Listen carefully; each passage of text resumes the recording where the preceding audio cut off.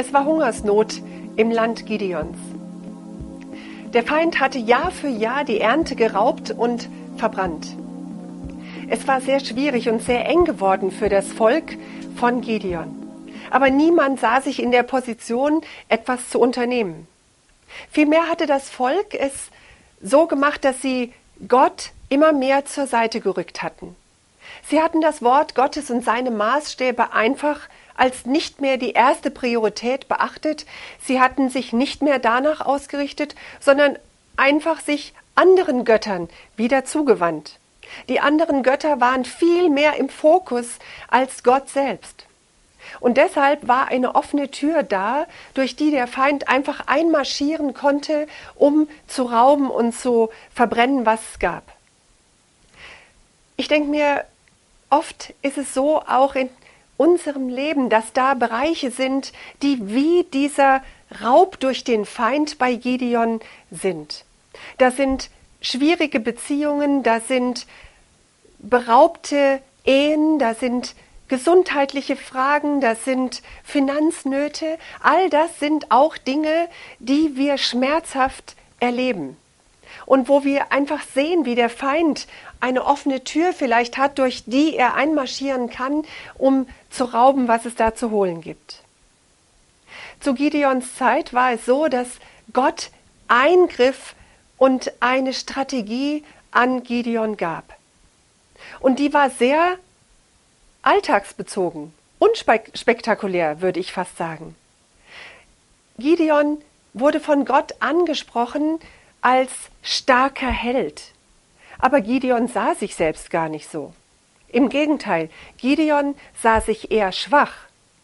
Aber Gott sah etwas, was in der Vollendung sich ganz anders darstellte als das, was Gideon jetzt im Moment sah oder empfand. Und Gott gab Gideon einen Auftrag, wie er gegen diesen Feind losmarschieren sollte. Und das war auch ungewöhnlich. Gideon sollte mit leeren Tonkrügen, mit Fackeln und mit Posaunen gegen diesen Feind losziehen. Aber das Entscheidende daran war, nicht in seiner eigenen menschlichen Stärke sollte er losziehen, sondern in der Stärke Gottes. Und in einem Vers lesen wir, dass der Herr sagt, ich werde mit dir sein. Das ist der entscheidende Satz in dieser ganzen Geschichte. Ich werde mit dir sein. Wenn du in deinen Bedrängnissen steckst, jetzt heute, dann mach es auch so, dass du auf das Wort Gottes ganz neu hörst, dass du ihn bittest, dass er dir eine Strategie offenbart, wie du beten sollst, wie du vorangehen sollst, wo du vielleicht Türen, die offen sind, schließen musst, dass der Feind nicht mehr da reinmarschieren kann und Dinge rauben kann.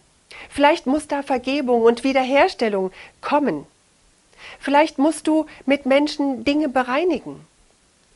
Aber zieh aus in der Stärke Gottes. Schau auf das, was Jesus tut. Schau auf das, was der Herr sagt. Im Neuen Testament lesen wir, lass uns hinschauen auf Christus, den Anfänger und Vollender unseres Glaubens.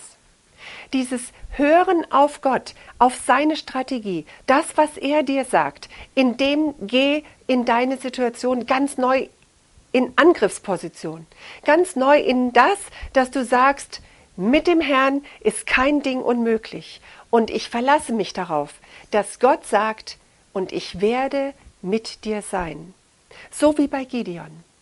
Er ist bei dir. Du gehst nicht in deiner eigenen Stärke, sondern du gehst in der Stärke Gottes. Er ist an deiner Seite. Er rüstet dich aus zum Kampf. Und er will deinen Kampf führen. Du kannst dich darauf verlassen und neu darauf berufen, dass er sagt, ich bin bei dir. Ich wünsche dir, dass du erlebst, Gott hat mehr für mich.